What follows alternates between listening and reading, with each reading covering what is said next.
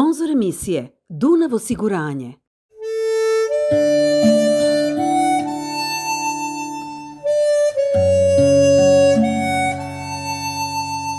U emisiji Naša priča vodimo vas u Belanovicu kod Ljiga.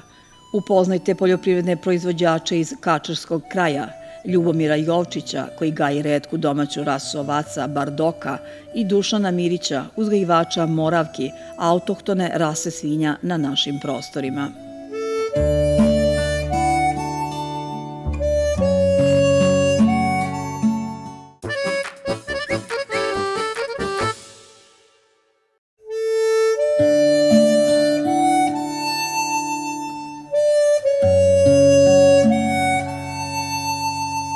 Bela metohijska ovca ili bardoka je autohtona ovca koja je rasprostranjena u Metohiji, po kojoj je i dobila ime. Metohijska ovca je potpuno bele boje po kojoj je i dobila ime bardoka ili barloka. Kažu da u Srbiji ovaj soj pramenke ima svega 200 odgajivača, a najveći od njih je Ljubomir Jovčić iz Belanovice kod Ljiga. Ovaj veterinarski tehničar iz sela Podnorajca – pre šest godina odlučio se za ovu vrstu ovčarstva. Ranije smo gajili šeničku ovcu, imali smo 50-60 komada, pa nam se nešto nije svidjela, nema toliko veliku mlečnost, nema to. E, posle smo 2016. godine odlučili se da kupimo bardoku ovcu, koja je dosta mlečnija, koja ima kvalitetnije meso, koja je laša za održavanje i ima veću količinu mleka nego sjenička ovca. Za koje namene vi gajite bardoku? Pa dok gajimo za tržište, za prodaju, imamo žensku jagnjad, dajemo ovako za priplod, to dajemo poljoprivrednim proizvođačima, imamo tu jedno 5-6 mali stada, po 15-20 ovaca, to je te 2016. sam ja dobavio 10 ovaca, pa sam stvarao stado, sad imam negde oko 97 ovaca i tu sam dao u komšiluku i tu ima jedno 3-4 mesta po 15-20 ovaca bardoka. Gde ste nabavili prva grla? Prvu bardoku sam nabavio u Dimitrovgradu, mesto Mrtopopinci, jedno 30 km od Dimitrovgrada uz granicu, kod Aleksandra Vasova. On imao 100 komada ovaca, pa sam ja kupio 10, pa sam poskupio 20, pa sam stvarao stado sve veće i veće i sad sam 97 imam. Do godine nadam se da imam negde oko 120 ovaca. Ljubomir priča da je metohijska ovca zahvalna za držanje, po prirodi otporna i prilagođena uslovima koji vladaju u brdsko-planinskim područjima. Ne traže na neka ekstra uslove morate da omogućite. Ona ima e, izuzetno otpornost. Ona sad je na paši. Pusta se pase do samog snega i posle, e, kad dođe sneg, e, daje se na, na, na jasle i se daje suva hrana, počinje jagnjenje. Kad se izjagnje posle u martu, pustaju se ponovo na, na pašu i daje im se jedna određena količina soli da bi opstali u zimsku, naročito u zimskom periodu kad je ta mrtva sezona, kad nema dovoljnu kvalitetnu ishranu i to. Razlikuje se ona od drugih autotonih sorti, jer ona je ovca, ima pramenove od 25 do 30 cm, ima drugačiji oblik glave, imaju uši oborene, imaju belu glavu i one su izuzetno otpore na bolesti, na sve, da bi mogle da izdržavaju te temperature. Baš su za ove krajeve idealne, za brskoplaninske krajeve. Ovnovi moraju imati rogove, ne mogu biti šuk, šukati rogovi, bez rogova, ali moraju imati rogove i moraju imati određene parametre da bi se pustali u pripust za priplod. To komisija određiva, ima to desetak stavki koje moraju oni da imaju da bi dali kvalitetno potomstvo. Kada ste rekli da je ovo ovca koja je baš za ovo područje, šta to zapravo znači? Kako je područje Belanovice? Ovo su brdsko-planinski krajevi, ovdje je dobra klima, nema nekih velikih snegova, nema velikih e, poplava, nema toga i na kraju u zadnje četiri godine, pet, nismo imali problem sa gradom, nismo imali sa ničim. Ovaj okrug je nekako obilazilo i sačuvalo. Kako priča naš domaćin, Bardoka je mali potrošač i nema posebne zahteve u ishrani. Smatra se jednom od najmlečnijih sojeva pramenke u našoj zemlji, međutim, plodnost je slabo izražena. Ona se jagnje jednom godišnje, polako se jagnje, imaju određenu veću količinu mleka, dobro gaje jagnjad, jagnja stignu za nekih četiri meseca za prodaju i ne treba neka velika količina hrane kao za Winterberga, kao za Sjeničku, manji, manji je potrošač. U zimskom periodu dajemo seno, livačko seno, dajemo prekrupu, dajemo suncokret, soju, ovac, kukuruz meljemo i dajemo im kao prehranu kad se jagnje, pre jagnjenja i kad se izjagnje zbog pojačane mlečnosti. Vi sad gajite zbog mesa ove ovce. Jeste razmišljali o možda mužima da je to veliki posao? Tačno da u periodu pune laktacije mogu da daju neke velike, ogromne količine mleka? Pa jeste, oni mogu da daju velike količine mleka, skupi ovči sir, skupo je to sve, sve mi to znamo, ali nema radne snage. Ovde nema radne snage, ovde je ostalo selo i nema radne snage da nađete kod da muze ovce. Uzalo je to što ona daje tu količinu, može to da se muza do same jeseni kao što rade na plavskim jezerima do nove godine muzu i to sve, ali ovde nema to ko da radi. Imali su u početku i ovčići problem sa nalaženjem priplodnih ovnova, ali je vremenom, zahvaljujući Ministarstvu poljoprivrede, i taj problem ubrzo rešen. Imali smo problem sa ovnovima. 2016. ja sam počeo, 2017. nam je ministarstvo dobrilo uvoz ovnova uvoz ovnova iz Crne Gore, pošto ih nema ovde. Ima ih ukupno možda oko 200, 200 i nešto bardoka, a ministarstvo je 2017. godine, mi smo podneli zahtev kod ministarstva i išli smo u Crnu Goru na Plavske jezera, uvezli smo rasne ovnove i e, sad imamo opet druge ovnove, uvezli smo i nemamo problem sad sa priplodnim ovnovima. Tu je bio najveći problem, a potražnja za jagnjadma je dobra, velika potražnja i to baš zato što su autoktona rasa ovaca, imaju veće subvencije i dobre su ovako za održavanje za kvalitet mesa i to. Kada već pomenute subvencije, kolika je subvencija? Subvencija za Bardoko je institut za ovčarstvo daje 4500 dinara za genetske resurse, a država daje 7000, 11500 dinara je uh, ukupan zbir uh, po jednom grlu. Koliko košta jedno grlo? Pa mi smo plaćali 150 eura jedno grlo ovce. Kad smo kupovali, to su bile ovce starije, pa smo mi stvarali potomstvo, pa smo ostavljali mlade, pa eto, izašli smo na neki 97.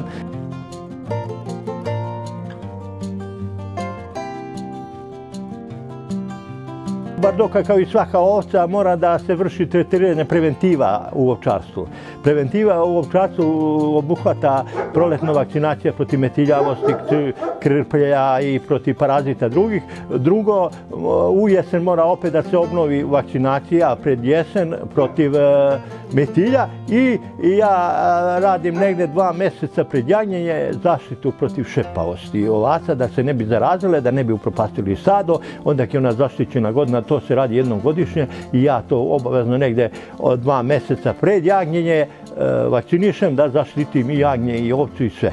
Koliko su bitni uslovi smeštaja? Tražili neke uslove smeštaja? Ovo je objekat koji je namenski izrađen kada ste formirali stado. Uslovi smeštaja su bitni. Bitno je provetravanje objekta. Ne valja da, da bude betonska ploča, ne valja to da bude. Mora da ima određenu visinu, mora da ima određenu svetlost, mora da ima u zimskim uslovima kad se jagnje ovce, da se odvajaju ovce za jagnjenje, gde se odvajaju ovnovi, gde se odvajaju dvišad i to u, u objektu i mora u svako doba da može da dođe vlasnik da na primjer, kad se jagnje ovce da je pomogne ili nešto se desi ili do jagnje ili tako te stvari, e onda da bi to radili, vi morate imati uslove za to. Koliko je zahtevno ovčarstvo? Uopšte jedno stado od 100 ovaca i šta to zapravo podrazumeva? Ovčarstvo nije toliko zahtevno, ovčarstvo treba samo imati e, livade i manja gde, je pašnjake, gde ovce pasu, a ovde, hvala Bogu, ima ovde mnogo, ranije Belanovica imala dosta krava i te rogate krupne stoke, međutim sad je u Belanovici to opalo toliko da nema toga i ma, mahom su ljudi presli na ovčarstvo i imaju ti livada, a ona nema neke e, velike zahteve da treba određena količina paše i to i u zimskom periodu jedno par meseci da je prihvatite da, da, da joj dajete prekrupu, da joj dajete to, da i ništa drugo. Koliko vi imate pašnjaka i koliko obrađujete za, za vidimo? I... Pa mi imamo jedno 10 hektara pašnjaka koji uzimamo po zakup.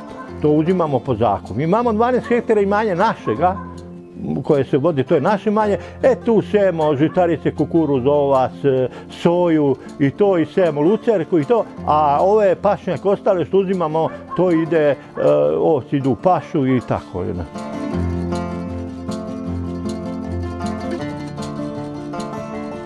To ima veliku prednost, što je ovo lepo vreme za ovčar. Prvom ovce pasu, drugo imaju kondiciju, lakše prebrode ta dva, tri meseca i ako ostane januar i februar, u martu one već mogu da idu negde se javlja, ima malo pašu i to da se održe u nekoj kondiciji, jer kad je zatvorena ovce non stop, onda pada njoj kondicije, treba je pustati i da ide i da šeta, bez obzira da li ona imala da pasi ili nemala, a dodavati joj hranu na jasle.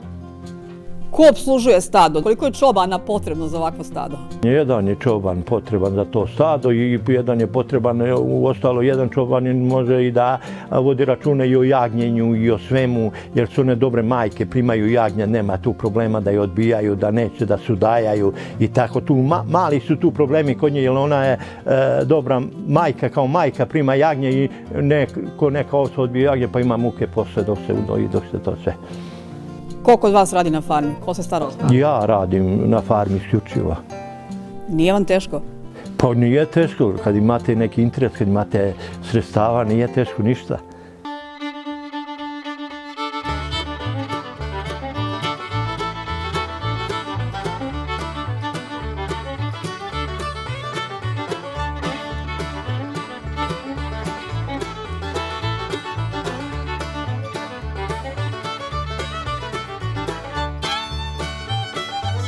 U Belanovici smo upoznali Dušana Mirića, on gaji Moravku, autoktonu rasu svinja. Dušane, kako je krenula ta priča, kako ste došli na ideju da krenete u proizvodnji, kada je zapravo sve krenulo? Sama proizvodnja krenula pre neke dve godine, ovaj, relativno su mladi, mladi ovaj, uzgajivači. Ovo je jedno porodično gazdinstvo koje je prešlo da krene u zapuštanje, što bi se reklo. I pošto ovde imamo jedan pčelinjak ovaj, koji se nalazi i teli smo da iskoristimo ovaj ovde teren i prostor koji ovde postoji za neke životinje koje bi mogle da opstanu ovde. Znači, naš izbor je bio ili između ovaca ili svinja, međutim, mnogo lakše nam je odgajati ovce, jer moja primatna proizvodnja je pčelarstvo i med, ali znači hteli smo tako da iskoristimo da nam te svinje održavaju ovaj deo imanja ne kor, da ne bi rasto korov, a ujedno da iskoristimo tu zemlju koji, koja, već, koja već postoji kao jedna vrst dodatnog posla, da kažemo, koji se nadamo u budućnosti da će biti isplativ. Za sad je to, da kažemo, još uvek početnički ovaj deo posla. E, nismo razradili celokupnu i farma potpuno nije gotova još uvek, znači tu fale još neki e, pomoćni objekti za mašine, zatim nam fali ono što smo mi hteli, znači to je prerada mesa, neka mini da iskoristimo tu, tu ovaj, rasu svinja za preradu i to je nešto što je nas povuklo da krenemo u ovaj posao. Prosto moravke su se nametnule kao životinje koje shodno ovom terenu relativno nepristupačno kome borave da bude izbor, da izbor padne na njih zapravo. Da, bilo koja druga industrijska svinja, kako je mi zovemo, ili bele svinje, na ovakvom terenu ne bi mogle da uspeju i ne bi mogle da prežive, znači jednostavno čim bi ušle u to blato ili nešto, ovaj, one bi, one bi ovaj, stradale. Međutim, Moravka je takva rasa, rasa svinje, znači koja je ovo prirodno okruženje i koja jednostavno ne želi da bude u objektu, u zatvorenom, u betonu, to nije prirodno stanište za njih i one se tu ne osjećaju srećno. Znači, e, i po najvećem snegu i po najvećem mrazu one idu, znači, e, po polju, gaze blato, valjaju se u blatu, znači, samo, znači, kad spavaju, one ulaze u objekat e, gde spavaju i to je, da kažemo, ovaj, te autohtone rase je, da kažemo, glavna odlika njih, znači, ta izdržljivost, iskorišćenje hrane u prirodi, jednostavno one se hrane žilama, žirevima, travom koje nalaze u prirodi a dok bela svinja to ne bi tako mogla da, da izdrži. Sada je tu negde oko 100 krmača koje služe za priplod, znači za proizvodnju prasića i naša glavna tržište su prasići znači trenutno, znači mali prasići, tim što naša je želja, jer imamo još jedno imanje e, koje želimo da ga, da ga na ovaj način obnovimo, ali tu bi znači bilo e, isto neki broj od 100 do 200 možda e, svinja, ali znači gde bi ih e, služili za to i da bi one išle do nekih stotinu kilograma otprilike da budu spremne za, za zimsku konzumaciju, što bi rekli.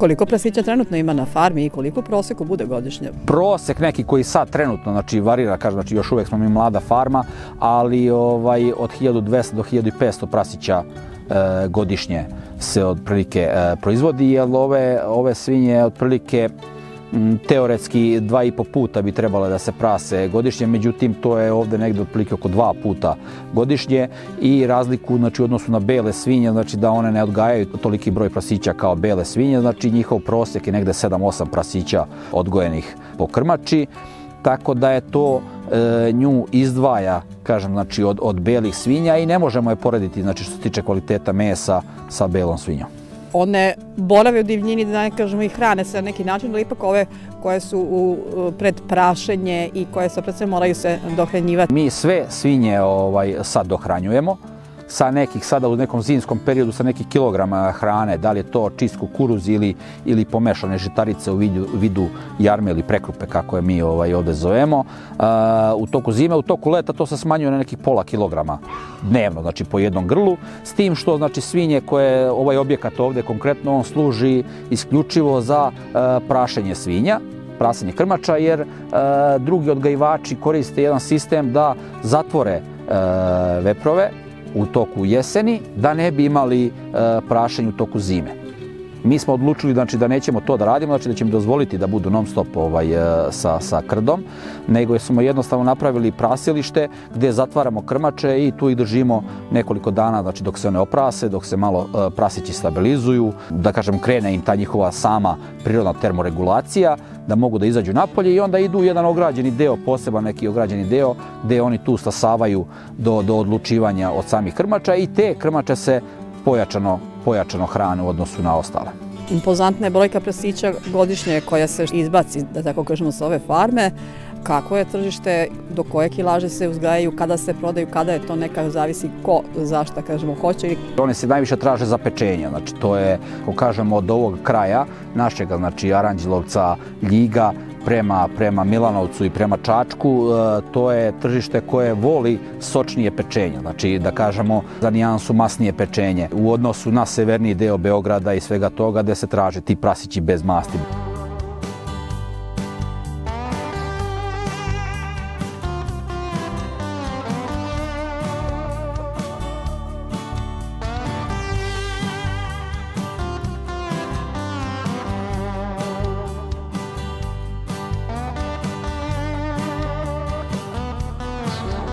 Kolika je cena prasića, kolika te žive vage moravki za ovo? Trenutno, znači, mi ne pravimo razliku, znači nismo uspeli još uvek da se distanciramo od uh, tog tržišta. Trenutna cena je nekdo oko 420 dinara za male prasiće, znači 20-25 kg, a te svinje od 100 kg su bile oko 300 dinara.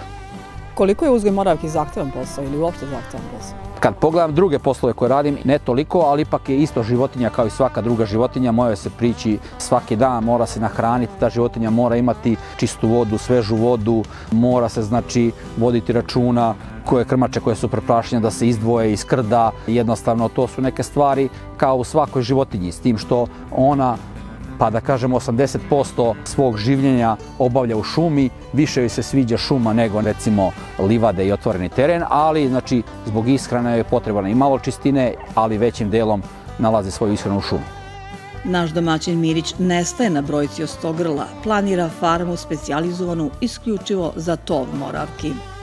Mi se nadamo da ćemo moći znači, da, da ostvarimo neki ovaj profit. Nije nam u startu bila, bila toliko želja da ćemo moći od toga da živimo, ali jednostavno u nekom drugom periodu, kažem kasnijem periodu kad napravimo neku preradu, kad napravimo znači, neki svoj, nazovimo ga brand ili tako nešto, znači računamo da će naše porodice moći da žive od toga.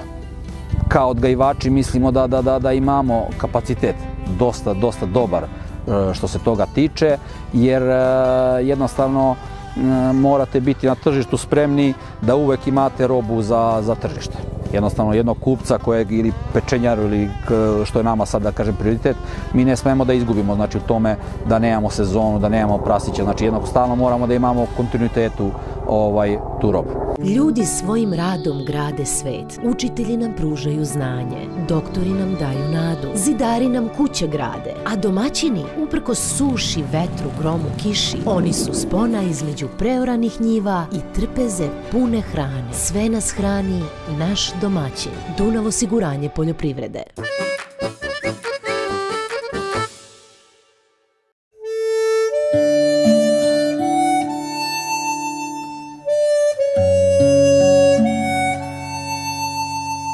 U nastavku emisije saznaćete u čemu je tajna bagremovog meda iz Belanovice, zašto je ovaj proizvod veoma cenjen i tražen na teritoriji cele Italije.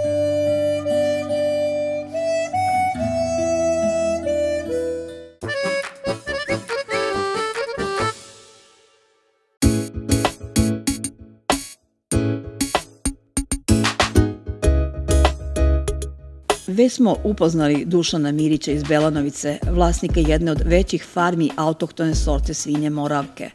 Ali primarna delatnost našeg domaćina je zapravo pčelarstvo, koje je porodična tradicija Mirića.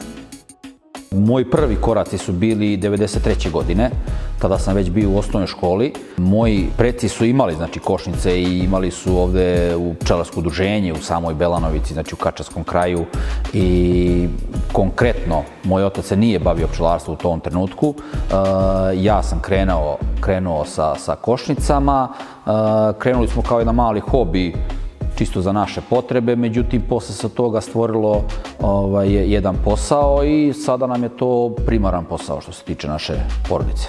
S koliko košnica se krenulo, koliko danas imate, Dušane?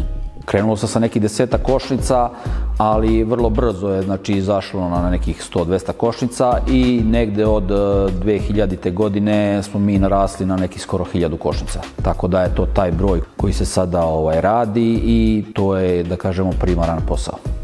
Pčelinjaci se nalaze na nekih 14 lokacija, konkretno ovde oko Belanovice same. Sada nam je u nekom planu da napravimo još više lokacija gde bi te pčelinjake još više rasturili po manjim zonama. Svi se nalaze u ovoj zoni Kačera i u zoni Belanovice. Ovde nam je karakteristično ta bagrenova paša koja nam je jako obilna i u nekim, da kažemo, godinama i livatska paša i lipova paša su isto aktualne.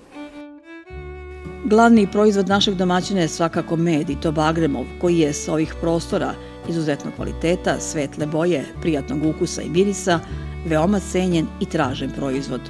U zavisnosti od vremenskih uslova, prosek je negde oko 20 do 30 tona meda godišnje.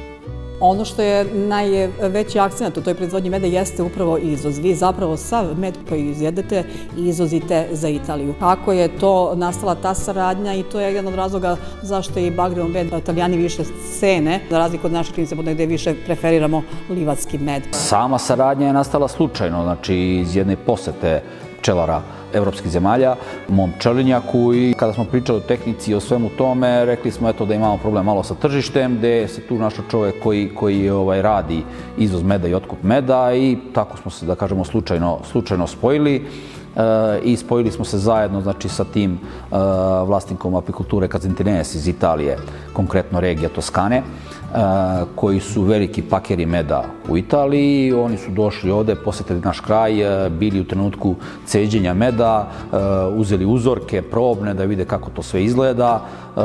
Posle 15 dana su vratili povratnu informaciju da su zainteresovani jako puno znači, za tu saradnju i jednostavno krenuli smo u tu saradnju pre nekih 10-11 godina i evo do danas to još uvek traje na obostrano zadovoljstvo, na zadovoljstvo možda i pčelara i mene kao proizvođača i njih kao, kao pakera. E, mi im obezbeđujemo kvalitetnu robu koju oni mogu da, da plasiraju na njihovom tržištu, a za nas opet je to siguran plasman robe. Ono što je karakteristično trenutno, znači da iz Srbije 90% meda izlazi u burićima kao rifuzno pakovanje, možda to nije najbolja ovaj, varijanta za Srbiju, ali opet kažem, znači dobija se cena koja pčelara zadovoljava i mi smo recimo od 2004. ili 5. E, godine sa nekih 300.000 košnica koje je Srbija imala, sada narasta na milion i po košnica. Što je možda i previše za ovakvu malu površinu zemlje, ali opet e, baš je se dosta razvilo pčelarstvo zahvaljujući tom tržištu koje se otvorilo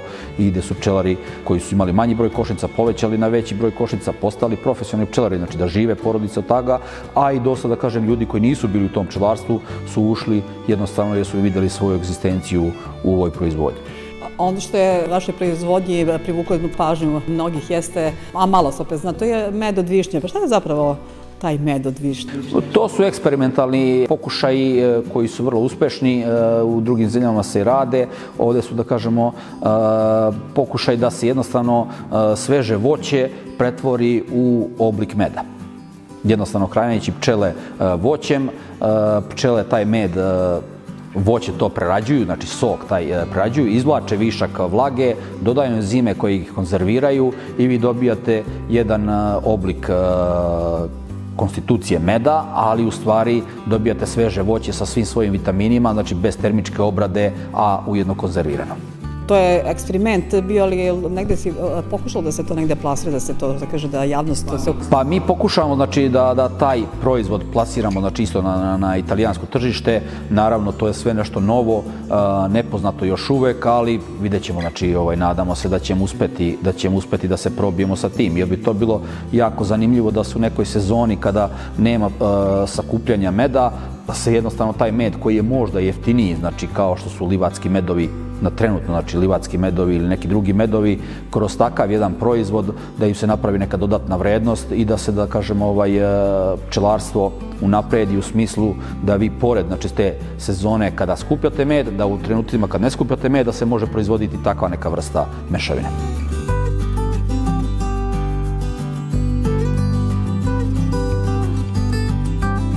Mi izvozimo negde otprilike oko 700 tona meda godišnje, znači ne mog meda konkretno, znači nego kupujemo i med od drugih pčelara i to ide u kontinuitetu, znači neka špic sezone, otprilike oko šest meseci koji posle juna meseca do ovog nekog perioda ili kasnije je ta neka sezona otkupa meda, izvoza meda, a posle toga, da kažemo, u nekim letnjim mesecima je više moj veći akcenat znači, na sam pčelinjak i na, na proizvodnju meda pčelarstvo je jako ozbiljna ovaj, situacija, pogotovo u današnje vreme sa nizom i izazova i bolesti i prirode i zagađenja e, same prirode, tako da se mora jako dobro poznavati biologija pčele, njen razvoj, ako hoćete da iskoristite maksimalno ovaj, pašu. Zato što naše paše su jako intenzivne, traju kratko, konkretno bagranova paša koja traje 10-15 dana, ako vi nemate spremno društvo za tako nešto, do sledeće godine vi možda se pozdravite sa, sa prinosom. Opčelarstvo se može pristojno, da kažemo, živjeti zavisno svaka godina. Negde taj brz dobri sestava, a reka u kom poslu može da se ostvari. Znači, generalno gledano u samoj poljoprivredi može se reći da se pčelarstvo može raditi sa najmanjom površinom zemlje. Znači vi dovoljno da imate i 10-20 ari, znači ne zauzima jedan pčelinjak ovaj, sa kojeg vi možete da ostvarite prinos. Sama proizvodnja se odvija na polju, vaše medonosne paše su znači u vašem okruženju, znači morate imati i lokaciju za tako nešto i nije vam ograničavajući faktor količina zemlje, mašine koje su jako skupe, tako da je dosta ljudi se odlučilo za ovaj vid e, proizvodnje jer je može se reći e, manje ulaganje nego bilo koju drugu poljoprivredu, a opet ako uložite znanje i rad, možete da ostvarite mnogo veće prinose recimo nego u nekom ratarstvu ili tako nešto. Ne kajete se, e, Dušane, što ste ušli u poljoprivredu, u svet e, stočarstva i pčelarstva? Ne, zato što radimo, radimo znači, na polju. Meni je najveći ovaj problem da radim u, u kancelariji, u tim papirima i u tim, znači, ovaj, to najviše izbegavam od svega ovaj, da radim, ali znači, jednostavno naša proizvodnja je E, na polju, e, u prirodi, e, što zdravije, to bolji proizvod. Imamo i registrovanu organsku proizvodnju, znači svi pčelinjaci su registrovani i sertifikovani za organsku proizvodnju, što donekle znači da su izdvojeni iz intenzivne poljoprivrede, odvojeni znači od nekih zagađivača koji mogu da utiču na med.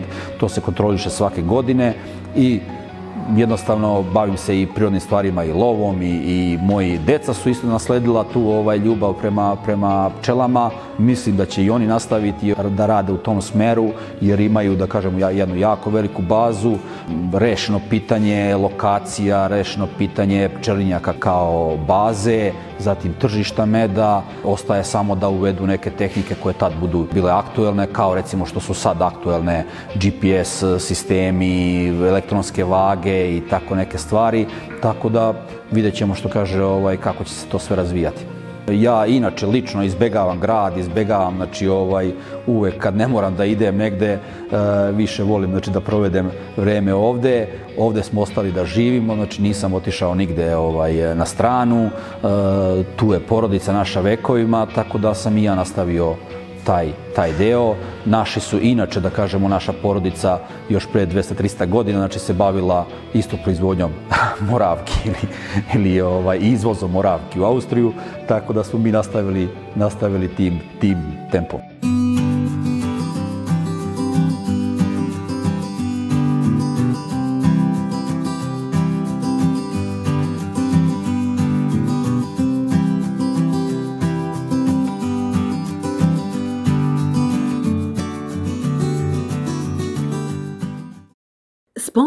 Informacije Dunav osiguranje.